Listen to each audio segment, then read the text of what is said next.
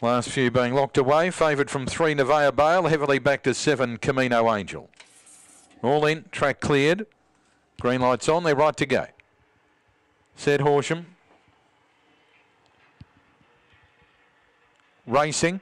Nevaeh Bale sped out, going hard Camino Angel to go with it initially. It's Nevaeh Bale and Camino Angel clearing out early. Electra Terrace followed by Albuquerque. Further back, Lady Driftwood, Crimel and Ivy. Well back, Mavs Magic, Rochester Paddy. Nevaeh Bale turns in front, back to the rail. Camino Angel sticking on. Albuquerque and Electra Terrace, but Nevaeh Bale in front. Camino Angel can't get there, and Nevaeh Bale all the way. Beats Camino Angel, Albuquerque, Electra Terrace, and they were followed by Lady Driftwood. And the last three in a Crimel and Ivy, Mavs Magic and Rochester Paddy.